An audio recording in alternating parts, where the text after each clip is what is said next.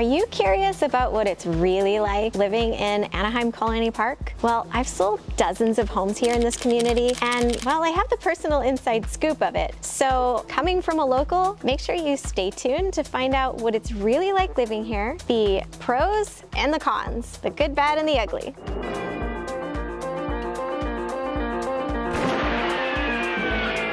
So first of all, it's obvious that this is a very beautiful community. It's very well maintained, there's greenery everywhere, and it's just beautiful. So you walk in and it's just clean and really homey.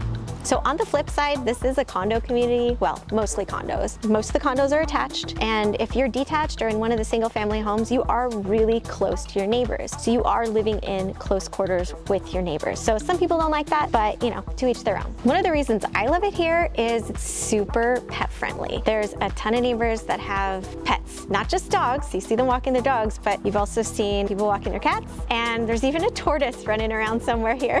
There's also a dog park specifically for Colony Park. Only residents can use it. And there's a really nice park in the middle of the community. That's a really great spot to walk your dog to. I don't know if there's mosquitoes. What's that, Toby? What's that? Oh, Toby wanted me to remind you guys to subscribe and to hit the bell to get notified for more amazing videos, right? It's also easy to pick up your dog's poop because there's doggy poo-poo stations everywhere. And some of the fun parts about having pets is entering your dogs into the doggy pet costume contests. So there's one for 4th of July and there's another one for Halloween. My little Toby's won the 4th of July one, so I was very proud of him for that. Okay, so the community is very pet friendly, but maybe it's too pet friendly for you. A lot of people have dogs and I don't know who does it, but some people don't pick up their poop, but I think that's in any community. But some of us great neighbors will pick up poop even if it's not their own dogs because I'm not stepping on that. Another negative is we do have pets that aren't actually pets. There's feral cats running around this neighborhood. My dog hates them. You know, maybe you just don't like pets. Maybe you don't like dogs. There are dogs everywhere in the community. So be aware of that. So pro number three, all of the amenities this community has to offer and very low HOA dues. HOA dues are, as of now, less than $250 a month, depending on the size of your unit. It does vary. Amenities include there's three pools, two spas, fire pits, barbecue areas, there's a gym, there's a dog park we already talked about, we have security, and obviously it's super well maintained and it's beautiful beautiful, so that's all part of your HOA dues. So it's great that there's a lot of amenities too, but some people might not like the fact that there's trains close by.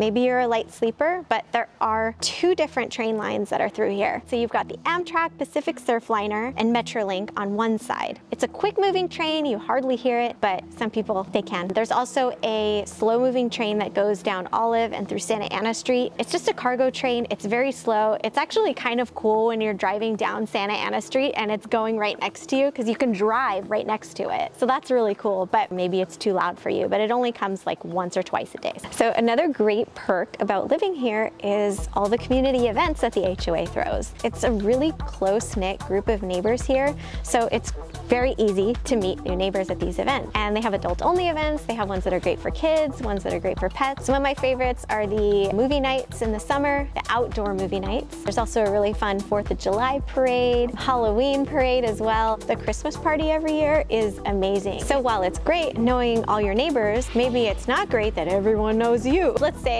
you're in a hurry and you're walking your dog, you're on your way to work and you run into some neighbors and it's kind of hard because you get caught up and you're saying hi and you're like, oh shit, I'm late, do you want to go? So lastly, and probably my favorite reason of living here is the location. It is close to everything fun. You can walk, have a quick drive to wherever you need to go, eight minutes from Disney, and there's even a really good route that bypasses all of the tourist traffic, so I can share that on a later video, but it's also really convenient walking to the Anaheim Packing House, you can walk to the Center Street Promenade, or you can even take the Fran, free rides around the neighborhood, the free electric car on demand that takes you throughout downtown Anaheim. So that's a really good perk having the stop here in Colony Park. We are in downtown Anaheim and well, any downtown area, parking sucks. If you park in your garage, you're fine, but let's say you're having people over. Yeah, I always tell my friends to Uber here because on nights and weekends, it's really hard to find parking. So those are five pros and five cons about living in Anaheim Colony Park, coming straight from a local. So if you still have questions about the community, send me an email, hello at ocmonica.com, or if you want to be notified about new homes coming up in Colony Park, just be sure to sign up on the link below.